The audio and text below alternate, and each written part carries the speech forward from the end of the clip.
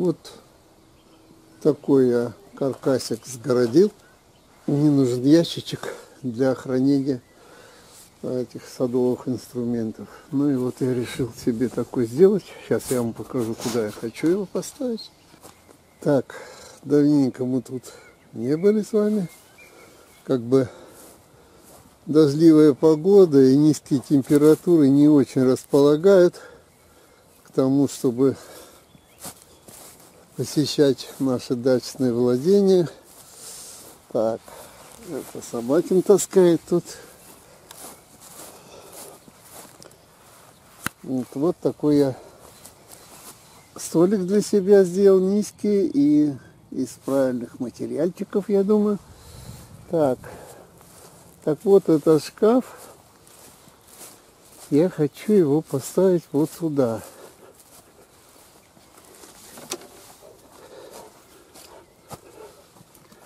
Вот здесь, чтобы было куда, было куда поставить и зонтик, и стульчик мой, и вот стативчик. То есть я к этому готовлюсь. Ну и в скором времени, наверное, закончу. Мне осталось дверь там и обшить стенки. Так, ну а теперь давайте пойдем поближе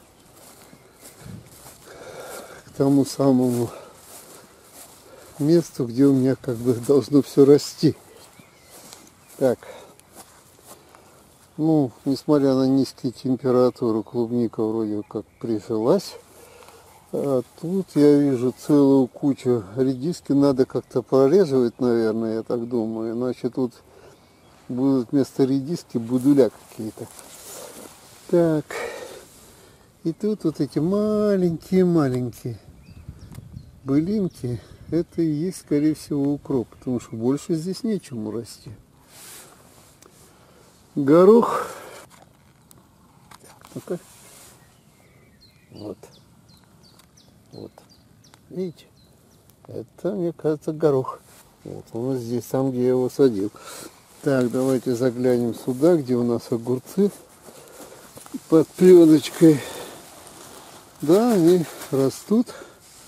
Несмотря на то, что холодная очень погода, они продолжают развиваться. Сейчас я их накрою.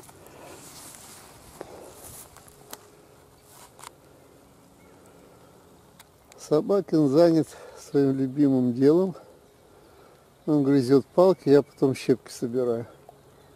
Такая командная работа у нас. Жалко, конечно, не посидеть, не погрилить, не на озеро полюбоваться. Все в дожде. И вот сейчас идет дождь, поэтому я сворачиваю нашу съемку. Идем домой. Дня через два, я думаю, мы вернемся. Ну а до тех пор пока. Всего доброго.